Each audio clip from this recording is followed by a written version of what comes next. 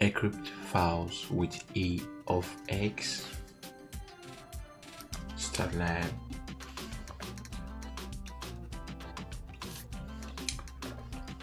Go to folder. Maximize for better viewing. Go to this PC. Click on D drive. Right click on Finances click on properties. Click on events.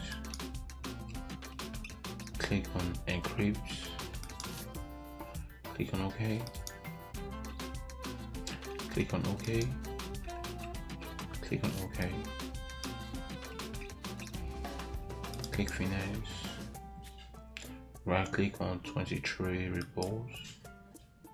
Click on properties.